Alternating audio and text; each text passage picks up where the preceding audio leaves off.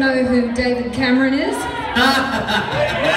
this is written from his point of view. Oh, right. He's feeling pretty shabby. Okay.